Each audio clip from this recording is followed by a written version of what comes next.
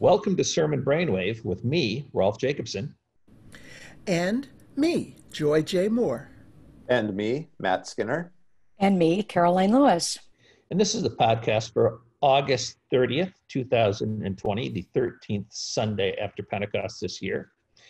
The first reading, the thematic first reading, is Jeremiah 15, 15 through 21. The semi continuous Old Testament reading is Exodus 3, 1 through 15. Uh, the Psalm is Psalm 26, 1 through 8. Continuing in Romans 12, we have Romans 12, 9 through 21. And continuing in Matthew 16, it's uh, verses 21 through 28. So last week we had Peter's confession, and in Matthew's words, you know, you are the rock upon whom I'll build my church. Whatever you loose uh, or bind is uh, that's what happens. And now it continues as Jesus and Matthew says begins to show his disciples that he must go uh, up to Jerusalem, which is slightly different terminology than uh, Mark uses, but it is uh, to me it's he's teaching them what it means to, that he is Messiah. Yes, good point, Rolf. so uh, and as we talked about i think last week that this is the uh, this is the first of uh, what four um, four four passion predictions? Is that correct? Right? First of four? Get one in 17 one well we get one in 17 one in 20 and then if you count 26 2 maybe? I don't know. But uh but uh the but yeah, this is a significant moment, and this idea of of denying yourself uh, and then taking up your cross, I think, are are one of those, uh, or losing and losing your life for my sake. I mean, I think it's one of those. It's one of those passages that gets really, uh, really muddled uh, in terms of what does it mean to deny to deny yourself. Uh, and I, I want to put that back into uh, the context of Matthew in particular, or in the context of of what is it what is it that this discipleship is is calling us to a kind of living uh, that is that is calling us to, and to deny yourself is to to not like deny your being. uh, but it's but what is it that hinders you? What is it that prevents you from from uh, from the kind of living to which or the kind of way of being in the world that uh, that that Jesus has talked about since the very beginning of this gospel with the Sermon on the Mount. Because now we're this is when things are really going to start making a difference. And and so what is it that hinders you from of this this kind of uh, sermon on the mount kind of living salt of the earth light of the world uh, and this kind of sermon on the mount sort of commitment. Uh, i think that's one way that i would maybe unpack uh, denying denying oneself because again i think this passage gets really confusing for people. What does that actually mean? Karoline, I, re- I appreciate the um, context setting in the text because, uh, in light of current realities, I'm really in front of the text when I'm reading this this week. And um, the idea of denial of self, for me, I, I read it um, uh, a, kind of uh, as an analogy of denying the systems that make me think I know who I am. And so I'm going to use the word I've used the last few weeks of dismantling those systems. Um, that to deny what is familiar, uh, what is comfortable, what is the categories we're used to, uh, in order to see um, the righteousness of God, to, to see what the inbreaking of Christ means. So in Matthew, it was healing, it was teaching that was new lessons, uh, it was uh, understanding um, all the, the the things that they thought they understood of Moses and who they were as the children of Abraham all over again. Um, and what would it mean for the church today uh, to um, dismantle everything we're familiar with in order to understand what God has been doing all along. And I bring that to a hopeful statement of, uh, of, of the verse 28, um, where um, Jesus says, There are some standing here who will not taste death before they see the Son of Man coming in his kingdom. And I want that to be a moment that says we have to dismantle the systems so that people today can glimpse the kingdom of God and it not always be the hope that this is going to happen in the future, but that a glimpse of it can be seen today. I suppose one of the reminders for that is about what makes it difficult is that it's, well, it's satanic according to this, that the systems themselves the propensities are satanic. If we look back, one of the problems is the NRSV splits this passage into two different sections and uh, read the two paragraphs connected. So, what is self denial or what makes self denial difficult?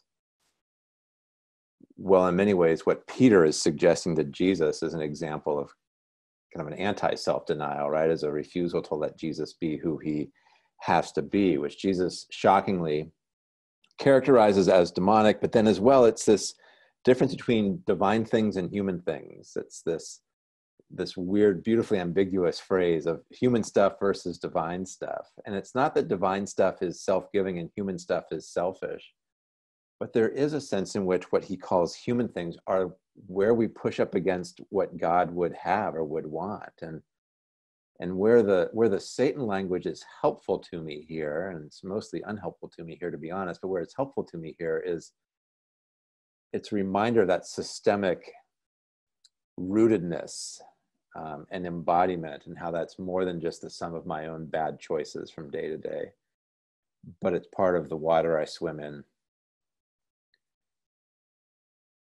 How to break out of that is probably well you need a cross um, as part of it, as part of the solution here. But this idea of self-denial as as a corporate thing that we all participate in because we're removing ourselves from a corporate understanding of what does it mean to be human, what does it mean to have rights, and investing that into a new society, a new social understanding what that looks like as the people who follow Jesus to the cross so I think I'm agreeing with everything you said, Joy. I'm just also kind of setting it into a communal setting and as well a, a Christological or a, really a cruciform, a cross shaped setting too. I should have let you speak first, Matt. Absolutely, yeah. No, we're better together. I, uh, I think that uh, you know these two passages from last week and this week obviously go together, uh, which is that's one of the reasons it's unfortunate they're split. But I like contrasting Peter as the rock upon whom I build the church with the stumbling block. So that Peter can be both rock and stumbling block. I mean, that uh, wish I'd thought about this last week uh, for visual preachers uh, to uh, set up that contrast. And so I do think that that is that is the nature of being a follower of of Jesus. Is that we, uh, I mean, to use very Lutheran language, we are um, justified and sanctified, fully justified and sanctified, and at the same time still fully sinner. Um, it's not half and half; it's hundred percent, hundred percent, and that um, so that there finally is no way for us to put away the the words you guys are using, the satanic ways of thinking, the the, the ways of. I really wish this had been. Uh, with last week's Romans 12 text rather than this one, that is to be conformed to the world because uh, the, the world is always pressuring us and, and trying to conform us to its satanic ways of thinking. Um, and yet, the dying to self and rising to new life and being transformed by the mercies of God are also constant. Well, and and in in this context uh, that we've been discussing, the that the idea of then saving your life, uh, what is that? You know, for those who want to save their life will lose it. And those who lose their lose their life for my sake will find it. Again it's one of those sort of muddled passages or passage or verses that can be taken out of context i think and really um, in in very unhelpful ways uh, when we think about uh, when we think particularly of persons who have uh, or persons who have been told that this is what a, a denial of self uh, this is your cross to bear those kinds of, of ways in which the, these passages have turned into exceedingly unhelpful uh, unhelpful uh, pieces of advice so-called pieces of advice but that to saving yourself again uh, and what we've been talking about with with the dismantling of of satanic systems, saving yourself would be saving your self interest. Uh, you know, the system. I might want to dismantle the system, but the system has really worked for me. So I'm just going to, you know, keep. I'm going to keep, keep, keep it, keep propping it up. Uh, and and it's and it's it's in part recognizing that those systems are definitely self-serving and definitely serve our self-interests and as you said rolf it means going back to having that uh, it, it, that uh, beatitudes perspective blessed are those who hunger and thirst for righteousness. And so saving your life is this hungering for uh, and thirsting for righteousness that that uh, that means you do have to get up up your self-interest because it's not just about you. Uh, it's for the sake of the kingdom of God and for the sake of who, have you said, Joy, who's been left out of that of of that kingdom, and uh, and so I that's I think that's another uh, given what we've all said that's another direction I think that would be helpful for people for to unpack again that phrase of what does that actually what does that actually mean in the context of Matthew. Wow, there can be some good preaching this week. Let's shift to uh, Jeremiah, the, the thematic Old Testament lesson. And uh, this is one of Jeremiah's uh, laments, uh, his one of his complaint songs, uh, which I suspect is here simply because of uh, Jesus is showing the disciples that he's going to have to undergo great sufferings.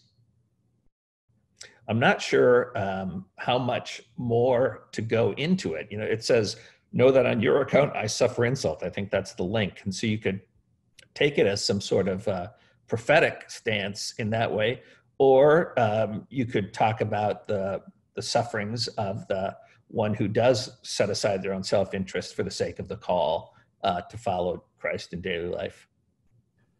It also, it's a text you could just preach on its own if this is where your congregation, your community is right now, needing some some words of lament I could see it in conversation with Romans 12, whether or not the lectionary committee designed that or not. We can, we have the freedom to do stuff like that.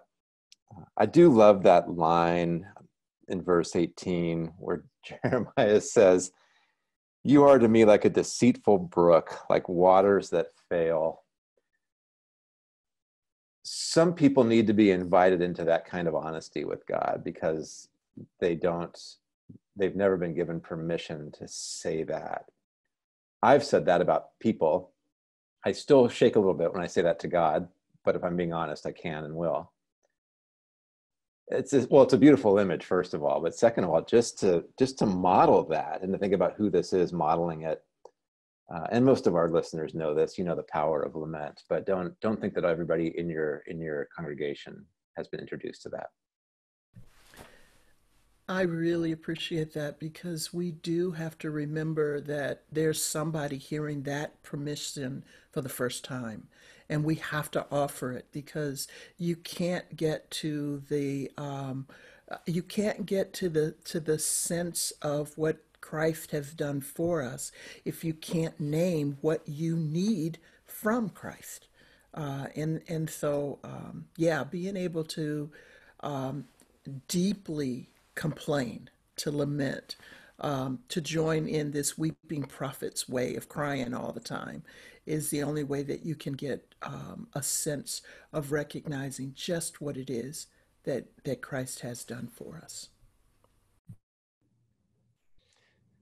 It is, uh, uh it is an interesting image. Uh, in Hebrew, it's just like false water that can't be trusted, is what it says. Uh, you know, and I don't know if that is that is you think you can drink it so it's not potable or if uh, you, you think it's not deep so you go into it and then you fall in i, I, I don't exactly know uh, what that is like but either way i mean i, I really like um, inviting people into uh, to say having an experience of god uh, that is not uh, redeeming and complaining to God about it is part of is part of the spiritual life.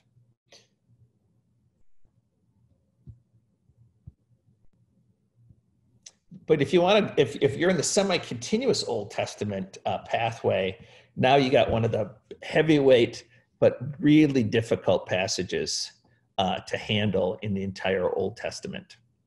So, if you're telling the story of the Old Testament uh, by now uh, in the summer, you realize that you've got a lot of filling in between.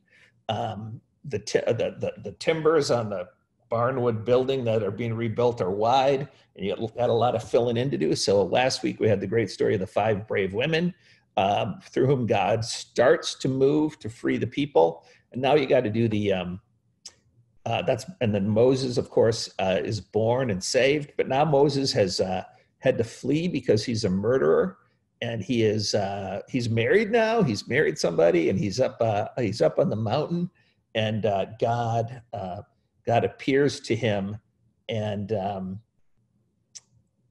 in the burning shrubbery that is not consumed, and then reveals calls God, and then reveals God's name. So there's so much here uh, which parts of it do you guys want to land on?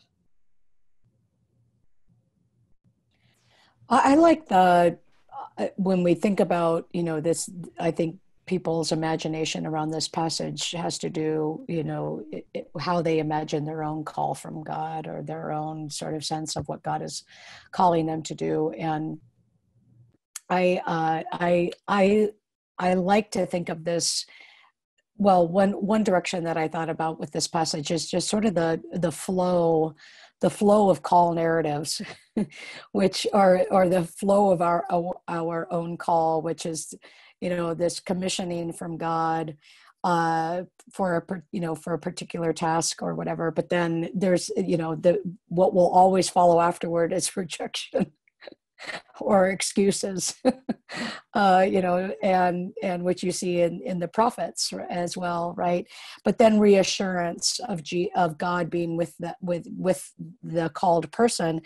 And that i will be with you is the reassurance of presence but it's not a reassurance of of of success necessarily uh, to what i have called you to do. And so uh, I, I think that's where I would land is that that as we imagine sort of our own um, it's just a good time to think about this our own calling what what what is it god that, what is it that god is calling us to do and be for the sake of god's kingdom in the world?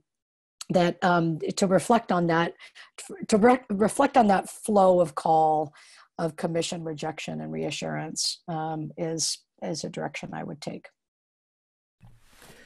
I had a um, a student uh, of mine who was a, a, Methodist pastor from Ireland um, um, uh, preach this text, and uh, the focus that I remember uh, of it was uh, the naming of God, of, of God being um, who God is, and uh, it was interesting because he was he was um, he was explaining it to um, a group of Baptist pastors um, from the American South.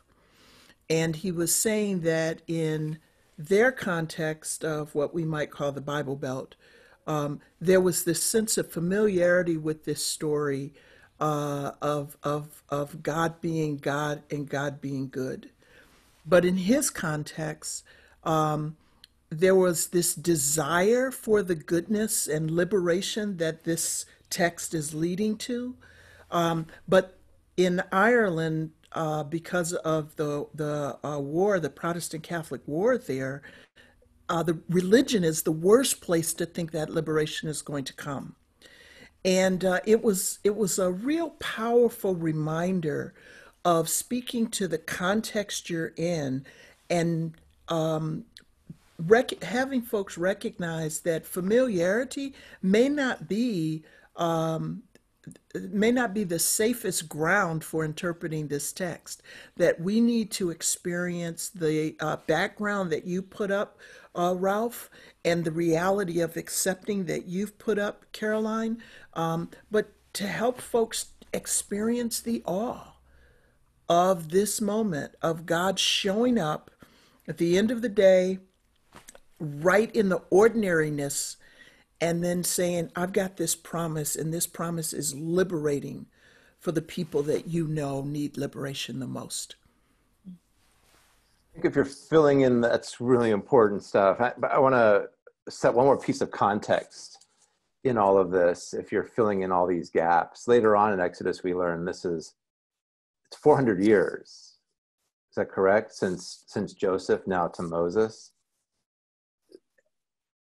that's what Exodus says, and again in Acts it's it's mentioned. So who knows exactly how many? But this is more than just one generation.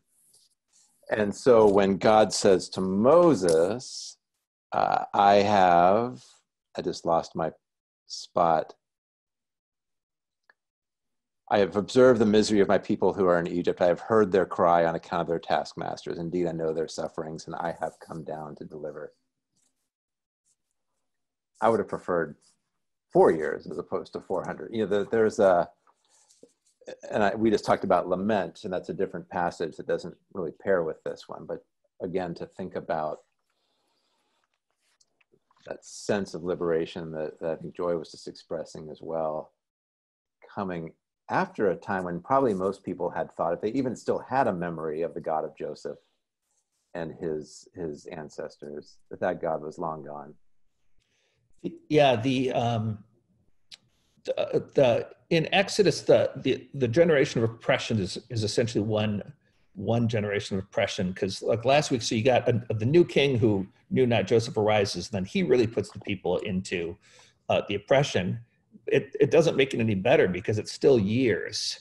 Uh, so I, I, would add verses again as we are uh, want to do as adders because at the end of Exodus 2 is this really important phrase. After a long time, the king of Egypt dies. So that, that Pharaoh who oppressed them, that Moses had to flee from, uh, he dies. And then it says they groaned in their slavery, and out of slavery, their cry for help rose up to God.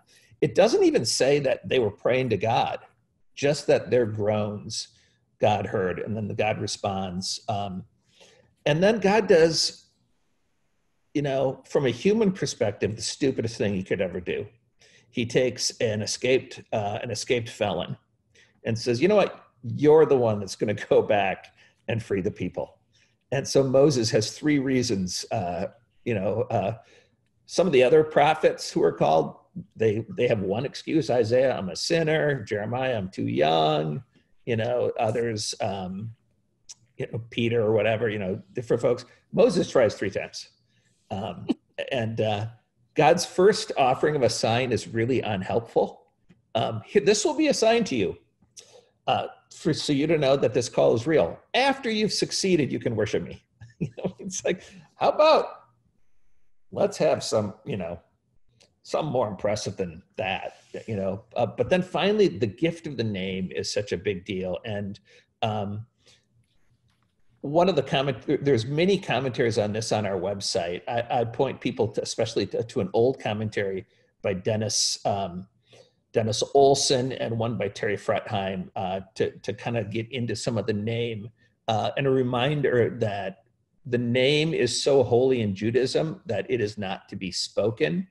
And uh, and in, for some of my jewish uh, scholar friends it is not even to be translated so they object, even if you translate it, I am who I am, or, or the other, I will be who I will be.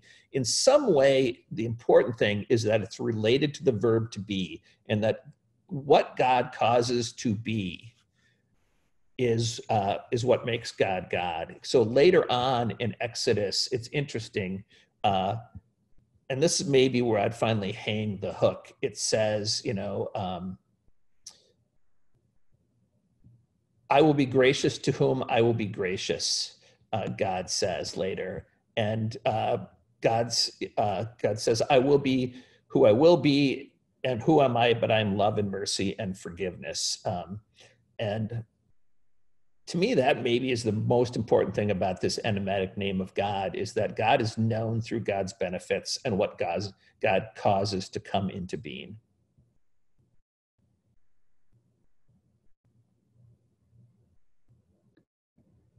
Well, okay then. Let's let's move on to Romans, uh, which is this. Uh, this is a great. Um, this Romans text is, uh, you know, it's not as theologically uh, deep as some of the other passages we've had, but it's got all these sort of staccato bullet points. Like it feels like uh, this is a Paul should have put this in a PowerPoint with all these, you know, love you genuine, hate what's evil, hold fast to what's good, love one another, you know, rejoice in hope, be patient in suffering, all these things. It's uh, I don't know if what you do is you finally say, here's a picture of what it is to be transformed by the mercies of God uh, and not conform to the world. Um, you know, extend hospitality to others um, and so on. I especially have always liked uh, because I teach the Psalms, and you get the Psalms of vengeance, where they want to, uh, where they want vengeance on those who have caused them to, to be oppressed.